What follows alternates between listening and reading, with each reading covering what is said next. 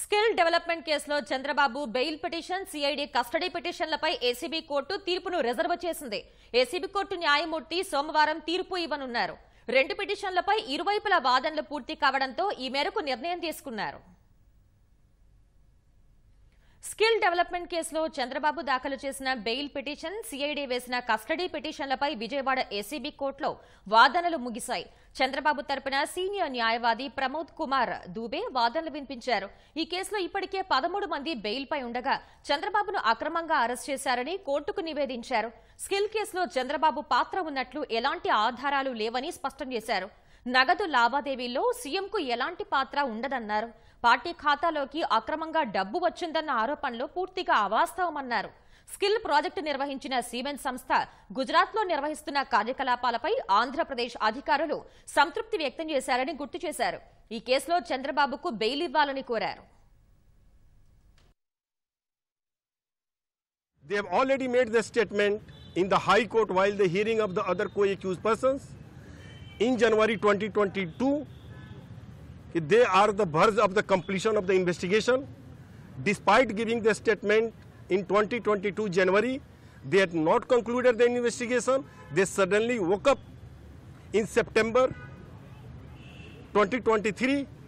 They added the my client Mr. Chandra Babu Naidu as an co-accused on earth without giving him the opportunity to approach the court of law. With their mala fide, they arrested him illegally to buy the time of 24 hours. He was not produced before the nearest magistrate and they have not done anything in the investigation. They want only to humiliate Mr. Chandra Babu Naidu and his party. The entire case is the mala fide. There is no evidence to substantiate their case and the money which was alleged to be released and they are relying on the note of the finance secretary. After that note, the finance secretary along with the committee member visited the state of Gujarat to find the credential and genuineness of the Siemens company and DesignTech.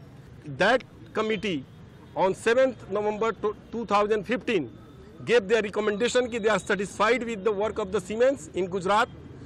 They have interacted with the Gujarat bureaucrats and in paragraph 7 of their project report, they have made the recommendation of release of rupees 270 crores to the corporation.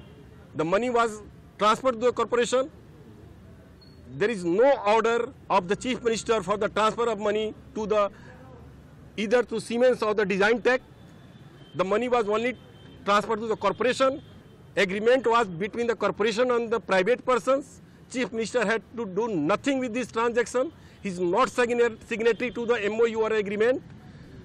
So this entire case is without base, only for the purpose of the humiliation, malign his image, and this is the this is was the argument which were advanced before the court.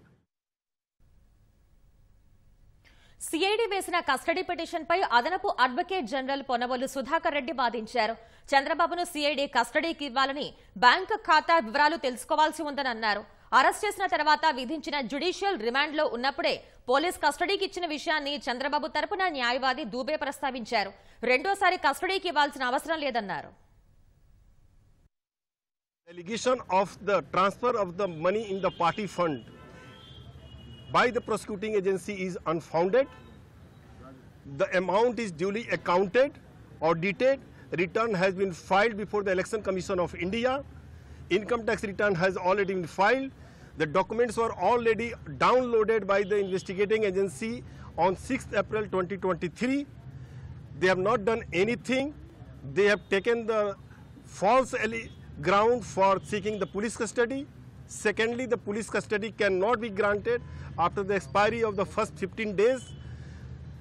They had not moved any application for the extension of the 15 days before the expiry of the 15 days. Second things, they want to have the confession of Mr. Naidu, which is not permissible in the law, and the police custody cannot be granted.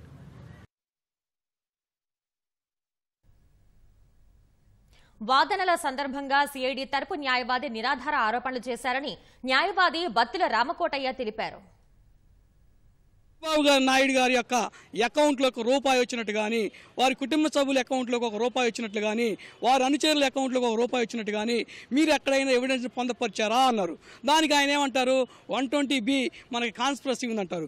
Conspiracy అనేది ఎట్లా establish చేయగలుగుతారు? మీ మాట తప్పితే మీ యొక్క oral సే తప్పితే అనే దాన్ని కూడా మనం ఈరోజు ఆర్గ్యుమెంట్లో దూబే గారు చెప్పారు. అందుకని ఈరోజు చంద్రబాబు నాయుడు గారి మీద పెట్టినటువంటి కేసులన్నీ కూడా బేస్లెస్ అవి నిరాధారణం.